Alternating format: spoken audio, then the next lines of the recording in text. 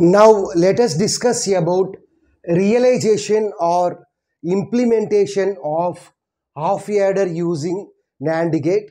Uh, we know the expression for the sum as well as carry for the half adder.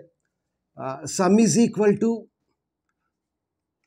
sum is equal to uh, A exclusive or B. Let the inputs are A and B. Whereas carry is equal to A into B. So now we have to design the half adder. We have to design a circuit for the half adder by using with only NAND gates only. So in this video we are focusing only on the NAND gates. In the next video we will see about uh, how to implement half adder using with uh, another universal gate called NOR gate. Okay. Uh, here uh, uh, we require totally, yeah this is the first NAND gate. We require a structure like this and this is the second AND gate. For the sum operation, we require uh, 5 NAND gates like this. So 1, 2, 3, 4 NAND gates. 4. We require a structure like this. So for the first NAND gates, the inputs are A and B. Whereas second NAND gate receives input from one input from A and other input from output of the first NAND gate. Okay.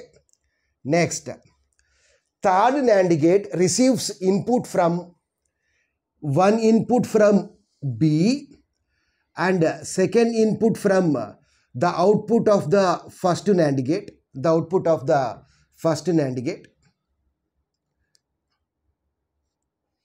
first NAND gate. And next, fourth NAND gate receives input from the output of the second NAND gate as well as output of the third NAND gate. So this is nothing but the expression for the sum. What is the expression for the sum? A exclusive or B. This is the expression. And for the carry, uh, first let us evaluate this expression. Uh, here, what is the output of the first NAND gate? Uh, AB whole bar. AB whole bar. Uh, and let us uh, uh, write the diagram for the carry also. Let us make the connection. Uh, we know that AB whole bar is nothing but AB. Here what is carry? AB. So we have to pass this as input to the another one more NAND gate. Here for this NAND gate we have only one input. So we have to write like this. If there is only one input then we have to write like this. Okay.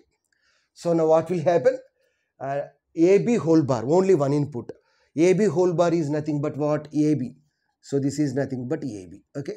So there is no need to evaluate carry. So directly we will get the carry. Now let us evaluate sum. Okay. Uh, let us focus on this NAND gate. Uh, one input from A, another input from AB whole bar. So we can write this as AB whole bar. A into what is B? AB bar whole bar. And let us write for this one, one input from B and another input from AB bar. So we can write as AB whole bar. So A means B and B means what? AB bar. So B into AB bar whole bar. Okay. Uh, next, this NAND gate receives input from uh, these two NAND gates. Okay. AB whole bar. So what is A? A means A into AB bar. A bar. This is A. Whereas what is B? B means B into AB bar whole bar. AB whole bar. So for this one we have to write the bar. Okay.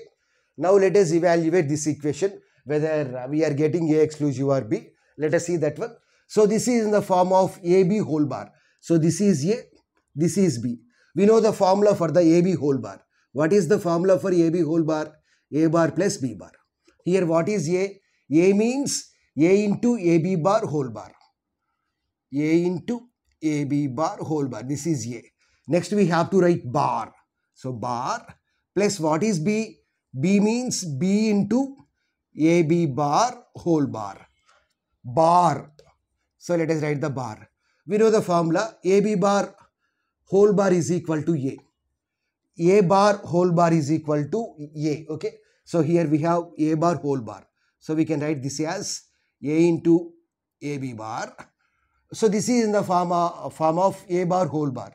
So we can write as B into AB bar. So this is, we can write this as A into AB bar plus B into AB bar. So we know the formula for AB whole bar, A bar plus B bar, okay. So we can write this as AB whole bar as A bar plus B bar plus B into, we can write this as A bar plus B bar. So let us multiply this one, A into A bar plus A into B bar plus let us multiply B with these two terms, B into A bar plus B into B bar. A into A bar is nothing but 0 plus AB bar plus BA bar can be written as A bar B plus B into B bar is nothing but 0. So AB bar plus A bar B is nothing but A exclusive or B. Okay. So this is nothing but sum. Okay. So how many NAND gates are required here in order to implement the half adder? So 1, 2, 3, 4, 5. So 5 NAND gates are required.